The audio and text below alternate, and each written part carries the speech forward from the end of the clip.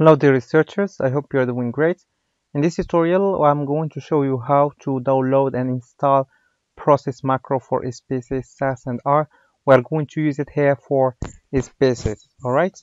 So I, I, would like you to go to your browser and click and would rather look for Hayes process macro and click on the first link that is shown uh, www.processmacro.org then or click installing the process macro and you will get this page uh, rather this page on this download.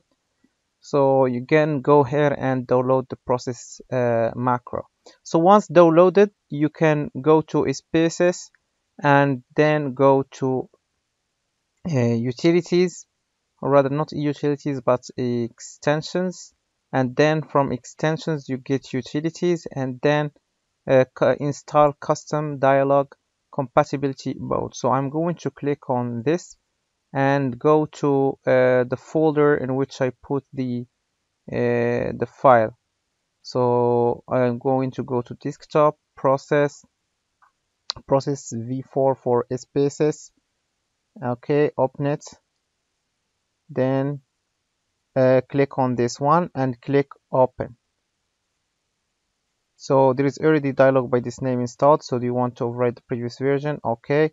So I already installed it to my SPSS so here the dialog files installed to analyze regression etc so now we can go to analyze and go to regression and we're going to find the process macro by Andrew Hose uh, or Hayes.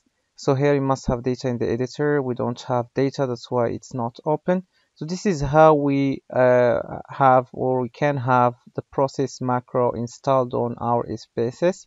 Uh, it, this uh, extension works uh, on the recent versions of SPSS like starting from the 20th version to uh, till the 28th alright so this is how we go about it